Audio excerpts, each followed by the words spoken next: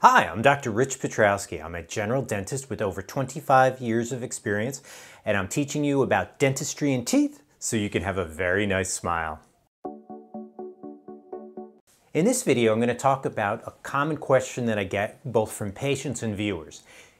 Can I get my dental crown repaired? If they have a problem with the crown and there's some issues with it, they always wonder, why do I need a new crown? Why can't you just fix the one I have? Well, the short answer is no. Usually we can't repair the crown. You, they fail for a reason, you have had problems. There's usually a specific reason that uh, it needs to be replaced and it can't be fixed. So now that I gave you the short version without you having to fast forward to the end of the video, let's go into the details and the long version as to what's going on with crowns, what a crown is, and we'll discuss everything. And any questions or comments you have, please leave them down in the comment section and I will reply to them as best as I can. So first up, the reason why we can't replace, we can't repair a crown is that there's very little you can do in someone's mouth to repair a crown. Usually you have to remove the crown to get to the problem and to remove the crown it tends to need to be cut off to get access to the tooth underneath. Now there are some types of dental crown removers such as the pneumatic crown remover uh, which is basically just like a slide hammer like you would dent puller type slide hammer that's pneumatic powered. They even make one with little weights to try to pop the crown off.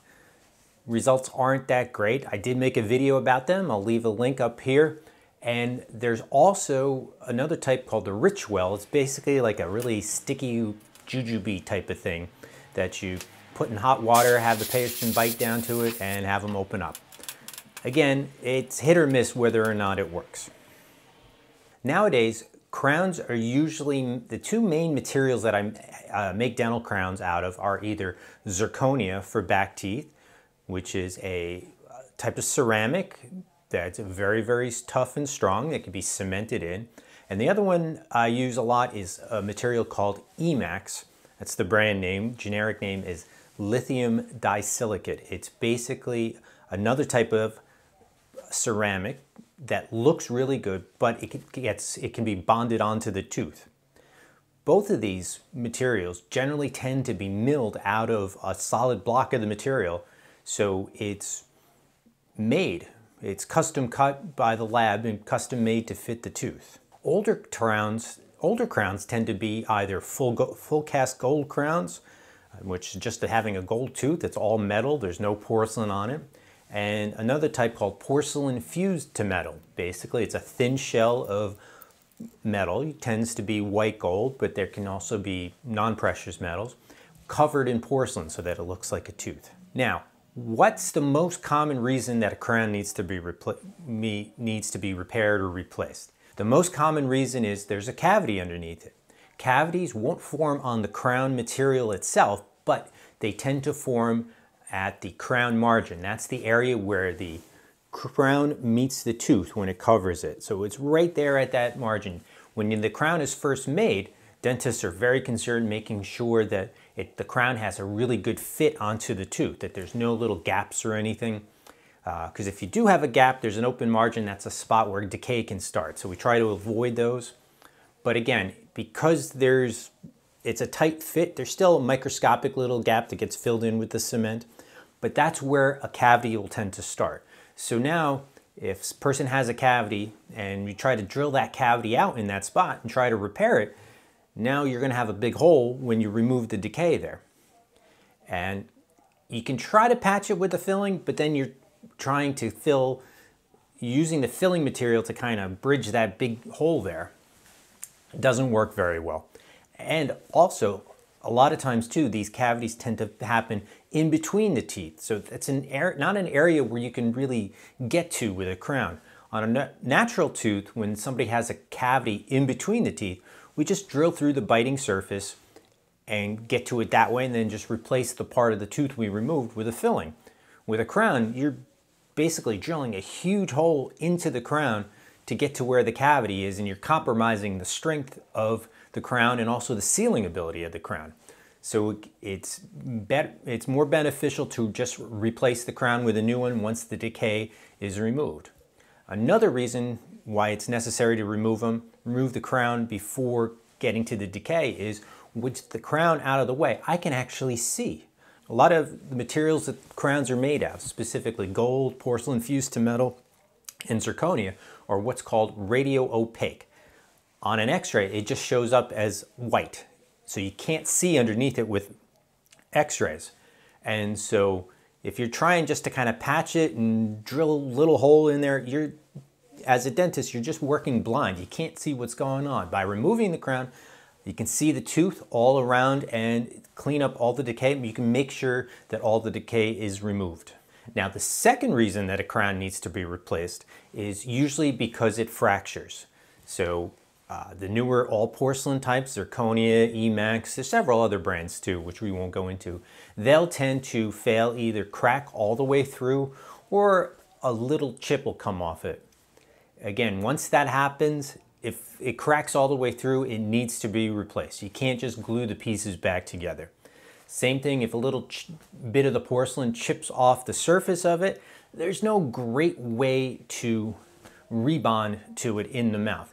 On the older types of crown, the porcelain fused to metal, the porcelain was stuck onto the metal by actually being baked in an oven, just how you would make a ceramic uh, cup or plate. Once it's shaped, you got to stick it in a kiln to fire it. Dental labs do the same thing. They build the porcelain up, stick it in a, uh, in a small little dental kiln, fire it, and it hardens. Once it's in the mouth, you, you know, obviously you can't stick the person's head into a kiln to help repair the porcelain. Any of the uh, in-the-mouth bonding agents tend not to work very well. Old gold crowns, full gold crowns, where they just, there's no uh, porcelain on them at all, it's just metal. I have seen them fail as well through uh, just wearing out. Patients, I've had people with 40 year old gold crowns that they've been using uh, you know, gold on a back tooth and they'll eventually, because the metal is soft enough, they will wear a hole through the biting surface of it. Sometimes that could be patched with a filling. Most of the time, again, it's a better idea just to replace it if they've worn it through it that much because if it's thin in that spot, I'm sure there's going to be other places where it's just as thin and is going to wear again. So are there any times when a crown can be repaired? Well, 25 years ago when I first started practicing, when it was common to do full gold crowns and porcelain fused to metal crowns, when you had a new, brand new crown back from the lab and you're trying it in and the, was the, the fit wasn't that great. It was uh, what's called an open contact, the place where the two teeth touch. If the crown wasn't quite touching, you could actually send the porcelain fused to metal crown back to the lab and they would just add more porcelain to it and then they and then you bring it back they would send it back to me. I try it in and now it would fit properly. Same thing with a full gold crown. If the contact was open it means it wasn't touching the tooth next to it. Again i could send it back to the lab. They could actually solder some more metal onto it uh, add some gold to it and it would have it it would touch again. And then we could cement that. If somebody has an old porcelain fused to metal crown that just happens to fall out and some porcelain is chipped off it, you would think that, oh, I could just send this to the lab and they can add some more porcelain, fire it in their kiln, and it'd be good as new. Unfortunately, once a porcelain fused to metal crown has been in the mouth for any length of time, it actually starts absorbing moisture from the person's mouth. And when you have the lab try to add more porcelain to it, when they're firing it in the kiln, what will happen is that moisture that's embedded into the rest of the porcelain will start to start to uh, vaporize. It'll basically boil off and you'll start getting air bubbles in the rest and you end up ruining the rest of the porcelain. So ideally they would, to properly repair it, they would have to strip off all the old porcelain and add brand new porcelain to the crown. But then that also makes you wonder, well, why did the crown chip in the first place?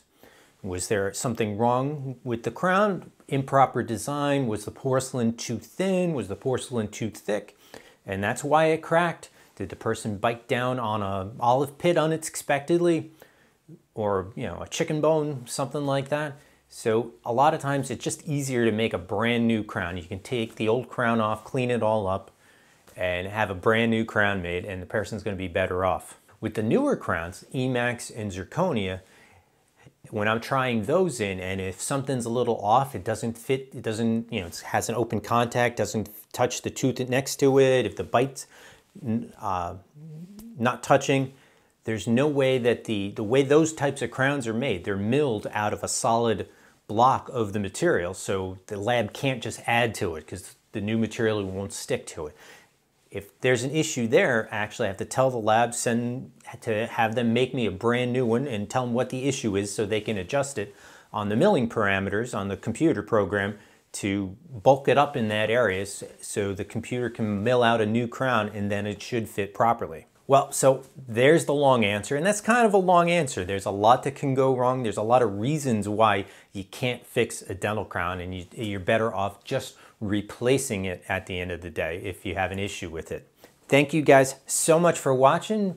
Uh, any questions or comments, please leave them down below. I try to get to most of them as much as I can. It gets a little difficult at times. There's been so many. And please hit that thumbs up button and uh, subscribe if you're enjoying my content. It really helps me out. Makes me feel good to know that I'm actually helping people by putting this information out there and just giving people more knowledge so that when they go into the dentist, they ha they'll have an idea of what the dentist is telling them, what's being done to their teeth, rather than just sitting there with their mouth open, not knowing what's happening.